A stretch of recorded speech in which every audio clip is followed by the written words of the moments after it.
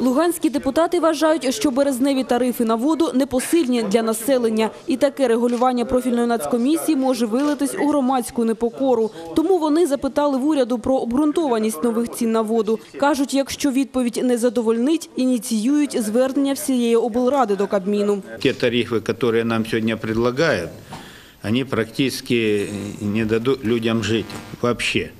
Будут платить только за воду, за свет, за другие коммунальные услуги, а на хлеб денег не будет хватать. 90% населения Луганской области по- получает минимальную заработную плату и э, прожиткового минимума, а пенсии тем более.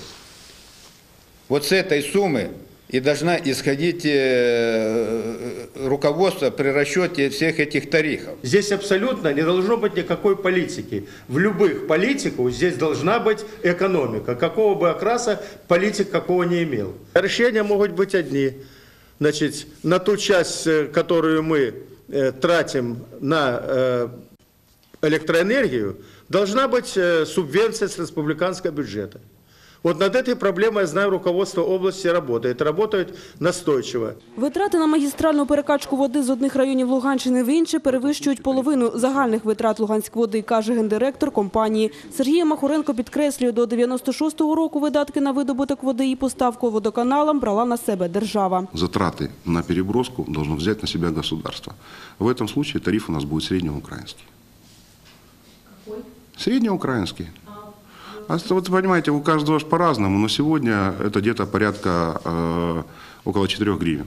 Зменшення собівартості води також можливе шляхом зниження втрат через аварії прямих збитків підприємства і також за рахунок розробки місцевих джерел, каже Сергій Махуренко. Шахтные воды э, – это нормальный проект, который надо реализовать, только э, подходы к этому проекту должны быть э, как бы завязаны э, прежде всего с логикой экологической безопасности – раз, и ценовой политикой – два. за чотири роки Луганська вода знизила енерговитрати на чверть. Однак лише за останній рік електрика подорожчала майже на третину. Щоб розрахуватись із боргами перед ЛЕО, водопостачальникам області не вистачить нового тарифу майже 9 гривень за кубометр. Він покриває 80% витрат підприємства. А концесіонер з Росії заморозив інвестиції у незбалансовану Луганськ воду. Катерина Харківська, Олексій Мовсисян. Події.